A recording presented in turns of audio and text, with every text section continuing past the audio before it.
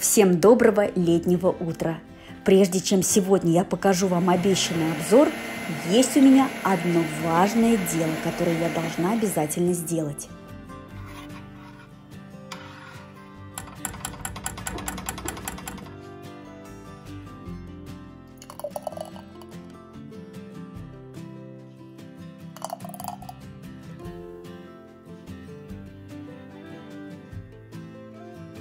Ну что, зимой будем лакомиться абрикосовым джемом. А сейчас обещанный обзор.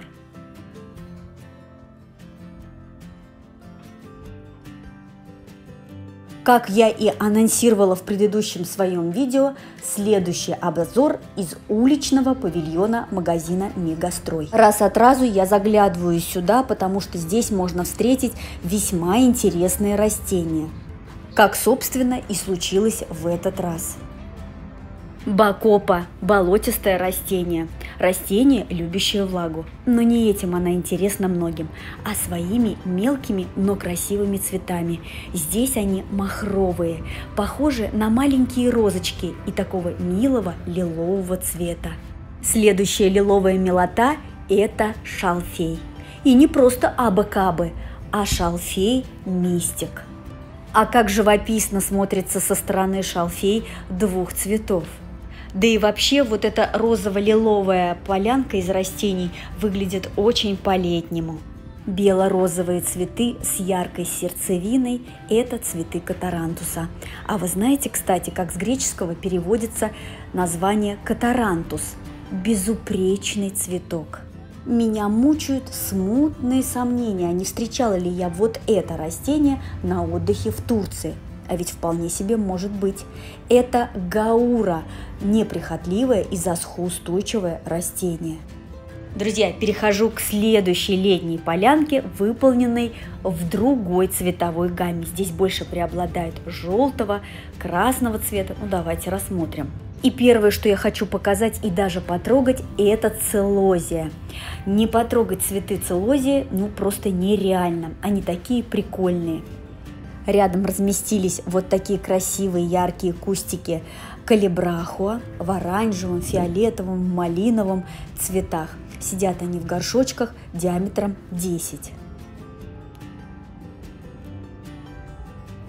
А вот тут я даже нашла калибрахуа вот с такими махровыми цветами. Горшочек с такими цветами был всего один. Забирайте же быстрее.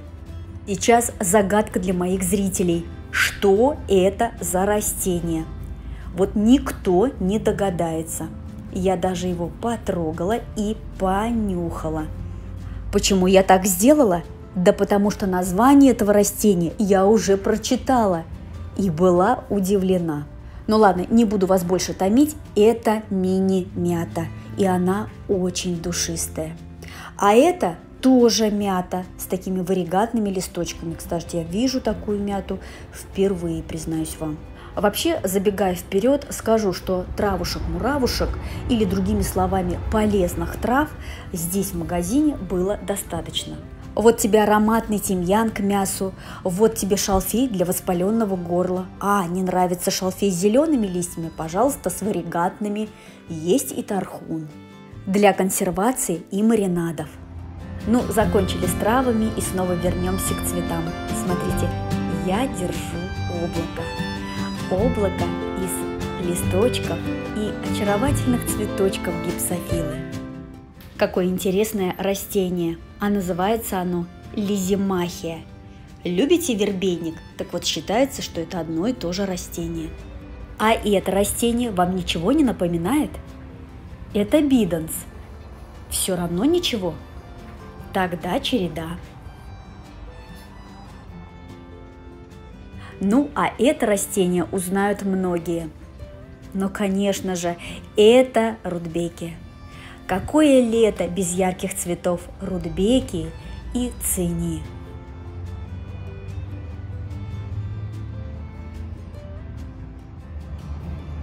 Ой, красота-то какая! Вот для меня ацинии и бархатцы – это самые благодарные растения в саду. Вот потратил на них совсем чуть-чуть времени в начале сезона, а они потом тебя отблагодарят продолжительным красочным цветением все лето.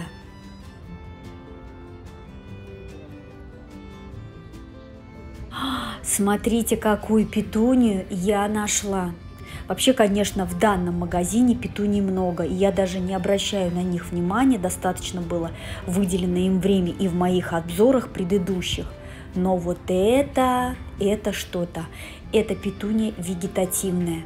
А вот это, а вот это, посмотрите, какая. Какая красота! Практически черная, но со светлой каймой. А, ну вот, пожалуйста, совсем черная. Это уже петуния гибридная. А давайте-ка вспомним, чем хороша так гибридная петуния. А тем, что она менее капризна. Она проще переносит э, засуху, проще переносит ливни, сильные ветра и достаточно устойчива к заморозкам.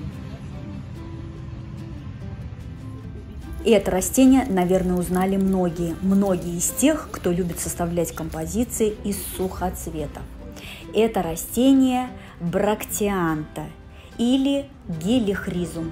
По-моему, под названием гелихризум это растение знакомо больше.